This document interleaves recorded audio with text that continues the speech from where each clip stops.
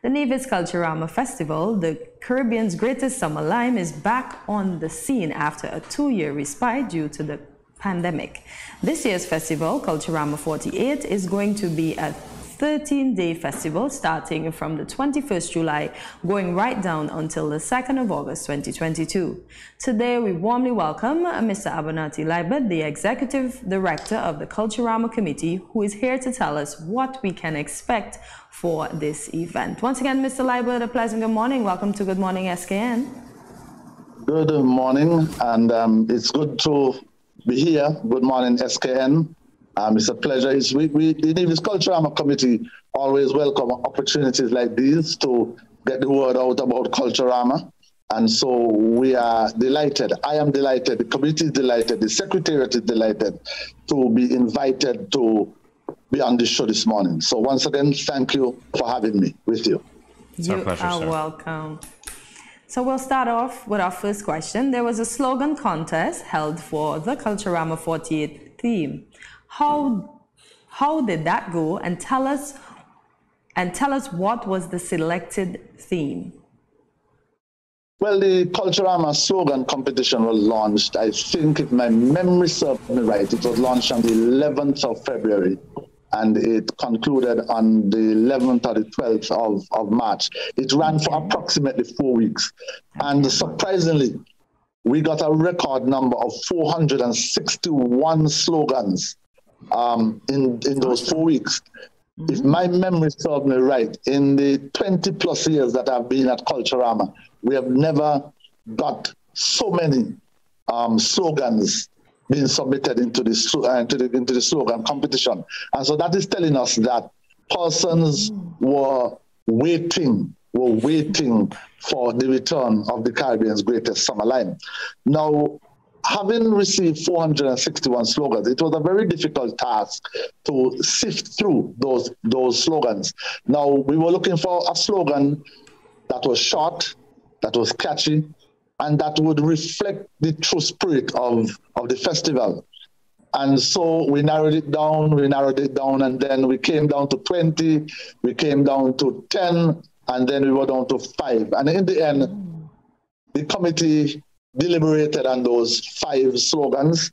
And uh, the slogan that, in our opinion, captured the essence of Nevis's Culturama was um, Fete and Celebrate Nevis Culturama 48.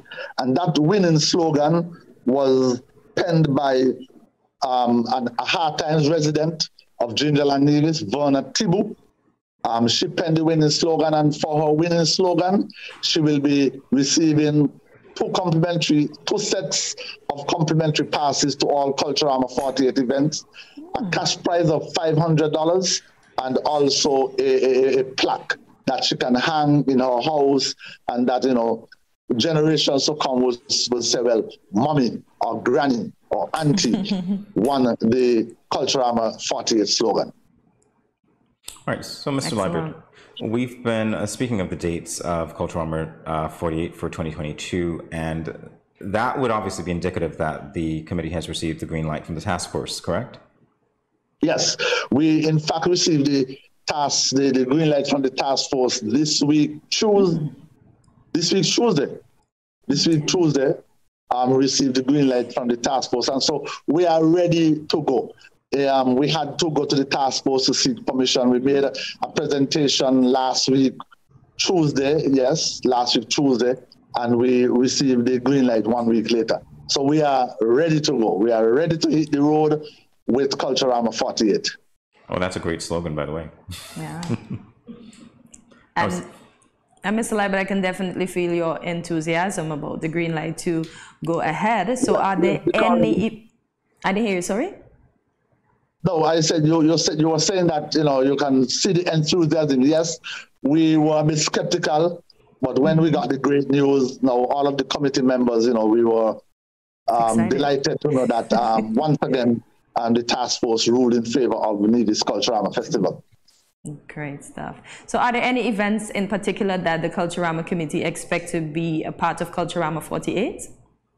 Well, we have a full 13 day festival. We are going to go with a full 13 day festival from July 21st until August 2nd. Um, we have some pre activities that are going to start from June 3rd, and those pre activities would run right down until July the 17th. And then we will have the core activities uh, which would begin on, on, on, July 21st. Now, the activities for this year Culturama are basically going to remain um, the same. That is, those from the committee standpoint. We are going to have a Miss Culture Queen pageant. We are going to have a Mr. Cool and Miss Swimwear um, contest. We are going to have our Soca Monarch contest. We are going to have our senior Calypso contest and our junior Calypso contest. We will be introducing this year for the first time um, a steel pan competition as part of, of the festival. We're also going to be having the Mr. and Miss Talented Youth pageant. We're going to have our junior street parade involving our schools and our young children. We will be having our, our senior cultural street parade. That's going to be the grand finale to the festival on August the 2nd. And of course, we are going to have the return of Emancipation J'ouvert Jam.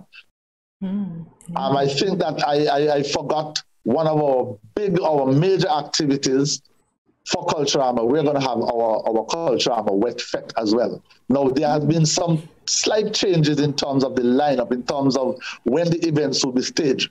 We're accustomed to having the Calypso show on the Saturday night.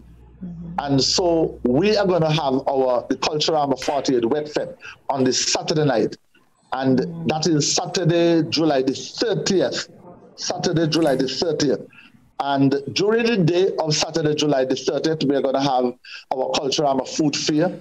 We have not yet decided on the venue. There are two venues that are that, that we are looking at. Um, and so persons coming to the Culturama food fair would leave the food fair and go straight into the wet fete because the wet fete is going to start at 10 p.m. and it would go right down until morning. So now the Calypso show now would be staged on Thursday, July 28th. We have shifted the Calypso show to the Thursday night. Okay. And the, the, Friday night, we are going to have our Soca Monarch. The Soca Monarch competition usually would have been staged on the Thursday night, but we have shifted the Soca Monarch competition to now the Friday night. So it's going to be like a power weekend where we have the Soca Monarch on the Friday night, Wet Fete on the Saturday night, Sunday night, we are going to have the Miss the, the, the, the, the Miss Culture Queen pageant, and then we move straight into J'ouvert, and then we move into the parade and last lap jump up on the Tuesday, the second. All right, so Mr. Liburd, uh, I don't want to age you at all, but I know that you're seasoned. I know that you've been in this role of executive director for uh, quite a while. Uh, what can you tell us about plus years. 20 plus years exactly? So being in this role, um, I can imagine you've seen the growth of Culturama, you've seen developments, you've seen mm-hmm. even changes and taken perhaps some decisions alongside the committee that helped the festival to develop even more. What were some of the highlights for you in looking back at those 20 years and what can we expect even more for Culturama 48 this year? Well, over the past 23 years that I've been as the executive director, of the festival. We have seen the, the, the Culturama Festival grown. The festival has moved from um, seven, eight, nine days. It has, it, has, it has been lengthened, and so we are now um, experiencing a 13 day festival. Mm-hmm. We have also seen over the years um, some diversity in terms of the some of the activities that we have had for the Culturama Festival. When I became the executive director in, two, in 1998, for the 25th anniversary of the of the festival, we introduced an international night, and that was the first time that Culturama saw an international night as part of the calendar of activities. In fact, we had um, legendary reggae singer out of Jamaica, Joseph Hill, um, the headliner for that reggae night. And we have continued having um, on and off having international nights as part of the of the of the festival. We have also seen a separation of the parades where we used to have the junior and the senior um, seniors parading. And when we looked at you know, the fact that they are seniors gyrating and probably misbehaving, probably misbehaving in front of, a ju- of our juniors, we decided over the years that we would split those two parades. And so we have seen a split in the parades. Um, we have introduced events like the Wet Fete, and are fringe activities that are now part of the of the festival. For example, the five in one fete, the glow fete, and so um, it was I think in 2017 that we moved in the direction of fetes because we recognized that festivals around the region um, were moving in that direction. And in order for us to remain relevant and in order for us to, to, to compete with our regional neighbors, Antigua, Anguilla, Barbados, wherever, there's carnival around the region at the same time. That we needed to up our game and offer exciting activities. And so we introduced effects. And so over the past 23 years, yes, we have seen um, some changes in terms of, of the festival. We have placed greater emphasis on showcasing the cultural heritage and Nevis. And so you will see a lot more folklore, folk music. The steel pan, we are introducing a competition this year. We have had string band competitions in the past. We have had masquerades competitions. We have had folklore competitions. And so over the years, we have seen these changes. And I think that Culturama now um, with the inclusion of all of the various aspects of Nevisian culture, um, we have set the platform for the preservation of Nevisian folklore, Nevisian culture, Nevisian heritage for years to come. So, being director of culture, Mr. Liburd, was that a, a calling of yours? And what are some of the major takeaways you would have had this far? Well, um, my training is in agriculture. And uh, I often give this joke in that when I was asked to be the executive director of the Culturama Secretariat in 1998, then opposition leader um, in, in, in the parliament, Mr. Joseph Parry, um, while debating, said, uh, well, he was, he was hammering the then government for taking me out of the school. Um, I think that he was strong in education and putting me in culture. And what, what, what, what he said, in essence, what he said, you all have chopped off the agri and left him with culture and put him in culture. He was in agriculture, you all have put him in culture, you all have chopped off the agri and, and left him with culture. And that that was a joke between uh, Mr. Parry and myself for, for many years because you know he felt that um, I should not have been moved to culture. But um, personally, I've grown. I've grown personal. Um, I'm grow, I've grown over the years. Um, I've, I was not accustomed to um, interviews like these and speaking in public, and so over the years, um, it has helped me. I've been able to travel to different countries and observe, like, let's say, Carifesta in Trinidad, Carifesta in, in, in, in Guyana. Mm-hmm. And so it has made me stronger in terms of my cultural conviction. I was not very strong um, um, supporter of culture, but it has made me um, a very strong supporter of Nevisian culture and culture. And it has given me a greater appreciation for Nevisian culture and for culture um, around the region. And um, I think that it was a good call that I answered to when I accepted to be the executive director of the Culturama Secretariat. Mm-hmm. Great call indeed.